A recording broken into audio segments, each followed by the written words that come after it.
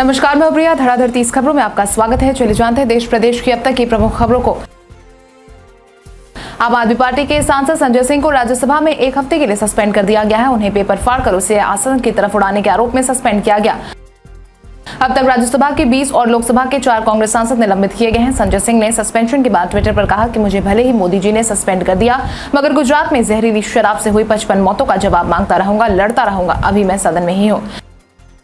कांग्रेस अध्यक्ष सोनिया गांधी को ईडी ने नेशनल हेराल्ड मामले में आज तीसरे दिन पेश होने के लिए कहा था। इससे पहले बुधवार को सोनिया गांधी से प्रवर्तन निदेशालय ने करीब छह घंटे तक पूछताछ की थी। इस दौरान कांग्रेस के नेताओं और कार्यकर्ताओं ने देश भर में सत्याग्रह के ज़रिए विरोध प्रदर्शन किया। वहीं बुधवार को भी कांग्रेस कार्यकर्ताओं ने अपना विरोध प्रदर्शन जारी रखा। भारतीय क्रिकेट कंट्रोल बोर्ड बीसीसीआई ने पुरुष क्रिकेट विश्व कप 2023 के बाद महिला क्रिकेट विश्व कप 2025 की मेजबानी के अधिकार भी हासिल कर लिए हैं। बीसीसीआई सचिव जय शाह ने कहा कि बोर्ड इस आयोजन को यादगार बनाने में कोई कसर नहीं छोड़ेगा। महाराष्ट्र के मुख्यमंत्री एकनाथ शिंदे ने बुधवार को पूर्व मुख्यमंत्री उद्धव ठाकरे से बासठवें जन्मदिन पर उन्हें शुभकामनाएँ दी है। एकनाथ शिंदे ने अपने बधाई संदेश में उद्धव ठाकरे को शिवसेना प्रमुख कहकर संबोधित नहीं किया। पिछले महीने एकनाथ शिंदे और शिवसेना के उनचालीस अन्य विधायक और दस निर्दलीय विधायकों ने ठाकरे के खिलाफ विद्रोह कर दिया था, जिससे महाराष्ट्र की शिवसेना, राष्ट्रवादी कांग्रेस पार्टी, एनसीपी कांग्रेस के गठबंधन वहीं महाविकास अघाड़ी सरकार गिर गई थी, जिसका नेतृत्व उद्धव सरकार कर रहे थे। प्रधानमंत्री नरेंद्र मोदी 28 उनतीस जुलाई को गुजरात और तमिलनाडु का दौरा करेंगे। वो 28 जुलाई को गुजरात के साबरकांठा के घडोरा में साबर डेयरी की कई परियोजनाओं का उद्घाटन और शिलान्यास करेंगे। टी ट्वेंटी वर्ल्ड कप 2022 शुरू होने में लगभग दो महीने का समय बाकी है। ऐसा भी सभी टीमें टूर्नामेंट की तैयारियों में जुट गई है। इसी बीच टूर्नामेंट को लेकर टीम इंडिया के लिए एक बड़ी खबर सामने आई है। रिपोर्ट्स के मुताबिक, पैडी अपटन को मेंटल कंडीशनिंग कोच के रूप में भारत के सहयोगी स्टाफ में शामिल किया गया है। ओलंपिक चैंपियन नीरज चोपड़ा ने बर्गिंगम राष्ट्रमंडल खेलों के गुरुवार को होने वाले उद्घाटन समारोह में ध्वजवाहक के तौर पर देश का नेतृत्व करने का मौका गंवाने पर निराशा व्यक्त की है। भाला फेंक का ये एक, एथलीट हाल ही में विश्व चैंपियनशिप में रजत पदक जीतने के अभियान के दौरान चोटिल हो गया था। राजद के सुप्रीमो और बिहार के पूर्व सीएम लालू प्रसाद यादव के पूर्व ओएसडी भोला यादव को सीबीआई ने गिरफ़्तार कर लिया है। लालू साल 2004 से 2009 तक भारत के रेल मंत्री रहे थे और इसी कार्यकाल के दौरान भोला यादव, उनके ओएसडी थे। अब भोला यादव को दिल्ली से गिरफ़्तार कर लिया गया है। यूपी में सीएम योगी के पुष्प वर्षा के निर्देश के बाद कांवड़ियों ने जहाँ इसकी खुश, खूब प्रशंसा की है तो वहीं दूसरी तरफ़ ऑल इंडिया मजलिस इत्तेहादुल मुस्लिमीन के सांसद असुबुद्दीन ओवैसी ने इसको लेकर योगी सरकार पर तंज कसा है। ओडिशा के आदिवासी बहुल मयूरभंज ज़िले के पाँच दर्जन लोगों के लिए सोमवार को राष्ट्रपति भवन में राष्ट्रपति द्रौपदी मुर्मू के साथ दोपहर लंच करने का अवसर मिलना एक सपने के सच होने जैसा था। देश के पहले आदिवासी राष्ट्रपति के शपथ ग्रहण समारोह में शामिल होने के मुर्मू के गृह ज़िले के कम से कम साठ लोग उस समय हैरान रह गए, जब अधिकारियों ने उनसे मुर्मू द्वारा आयोजित दोपहर लंच में शामिल होने का आग्रह किया। वेस्टइंडीज दौरे से आराम लेने के लिए टीम इंडिया के पूर्व कप्तान विराट कोहली की काफ़ी आलोचना हो रही है। सुनील गवास्कर और कपिल देव जैसे दिग्गजों का कहना है कि मैच खेलने से ही स्टार बल्लेबाज वापस अपने फॉर्म में हासिल कर सकते हैं और ये लौट सकते हैं।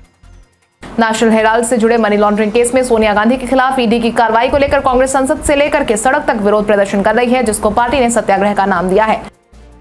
भारतीय वायुसेना में शामिल भारत का स्वदेशी जेट विमान तेजस सुर्खियों में है। इन दिनों तेजस विमान मलेशिया में भी चर्चा में है। तेजस का मुकाबला चीन, रूस और दक्षिण कोरिया के विकसित विमानों से किया जा रहा है। अपनी बेहतरीन खूबियों के कारण ये इन मुल्कों के विमानों से सर्वश्रेष्ठ साबित हुआ है। केंद्र सरकार को 5G स्पेक्ट्रम की नीलामी से पहले ही दिन एक दशमलव चार पाँच लाख करोड़ रुपए का राजस्व प्राप्त हो गया है। केंद्रीय टेलीकॉम मिनिस्टर अश्विनी वैष्णव ने यह जानकारी दी। देश में पांचवी पीढ़ी के स्पेक्ट्रम की नीलामी के लिए मंगलवार को पहले दिन एक दशमलव चार पाँच लाख करोड़ रुपए की बोलियाँ आई। खेलों में महिलाओं की भागीदारी बढ़ाने के लिए खेलो इंडिया के स्पोर्ट्स फॉर वुमेन योजना के तहत वर्ष 2020 में अब तक 9.5 करोड़ रुपए जारी किए गए हैं। केंद्रीय मंत्री अनुराग ठाकुर ने मंगलवार को यह जानकारी दी।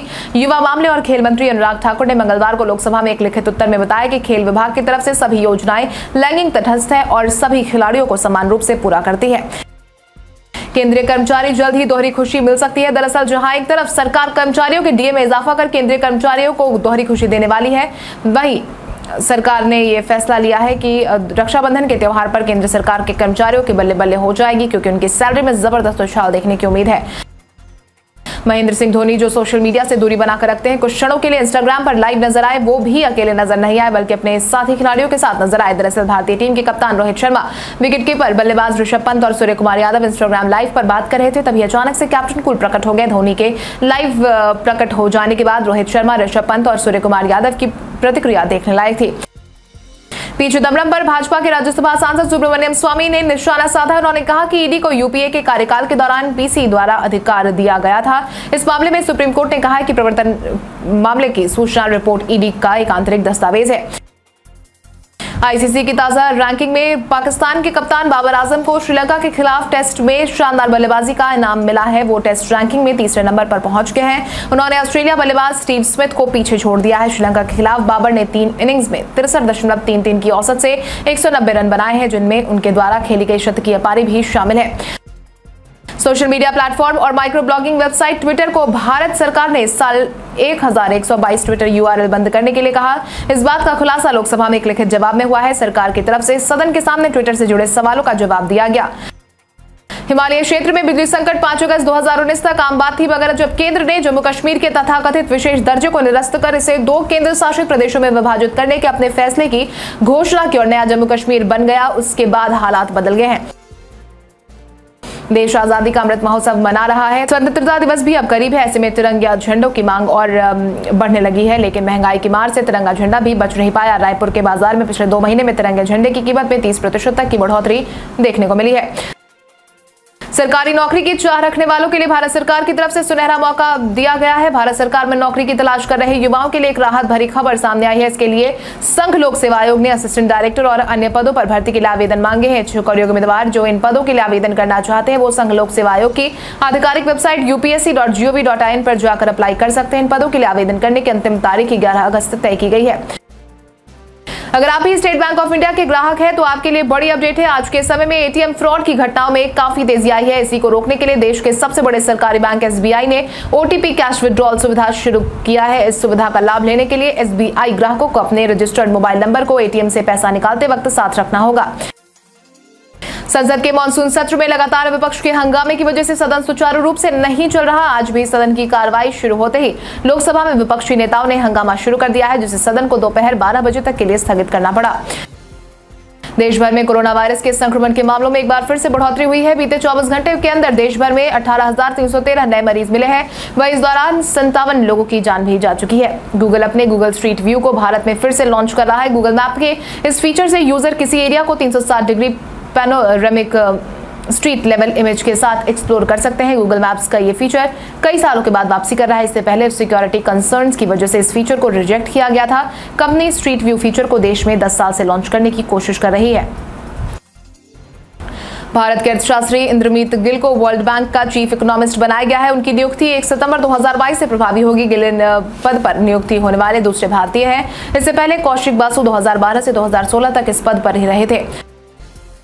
बिहार की राजनीति में आज सुबह से ही गहमा गहमी बनी हुई है, जिस तरह से सुबह पाँच बजे सीबीआई और आईटी की टीम राजद सुप्रीमो लालू प्रसाद के पूर्व ओएसडी भोला यादव के पटना और उनके पैतृक गाँव पहुँचे। उसके बाद आरोप प्रत्यारोप का दौर शुरू हो गया है, जहाँ राजद ने इस कार्रवाई के लिए केंद्र और मोदी सरकार पर सीधे आरोप लगाते हुए कहा कि वो सीबीआई को अपने फ़ायदे के लिए इस्तेमाल कर रही है, ताकि अपने विपक्षियों को कमज़ोर कर सके। पटना में होने जा रहे भाजपा के राष्ट्रीय स्तर के कार्यक्रम को लेकर बड़ी तैयारी चल रही है, जिसमें खुद भाजपा अध्यक्ष जेपी नड्डा और गृहमंत्री अमित शाह भी पटना आ रहे हैं। लेकिन इस बैठक को लेकर एनडीए में भाजपा के सहयोगी जदयू में बेचैनी बढ़ी हुई है और पार्टी के नेता लगातार कार्यक्रम और आने वाले नेताओं को लेकर लगातार विवादित बयान दी जा रही है। इसको लेकर अब भाजपा नेताओं की तरफ़ से जवाब देना शुरू हो गया है।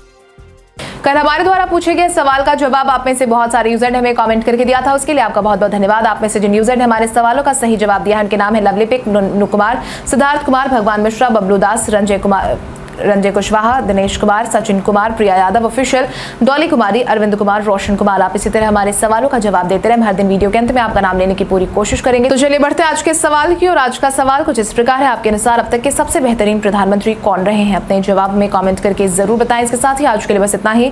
देश प्रदेश की तमाम बड़ी खबरों से जुड़े रहने के लिए हमारे यूट्यूब चैनल को सब्सक्राइब करें और बेलाइकॉन दबाना ना भूलें। धन्यवाद।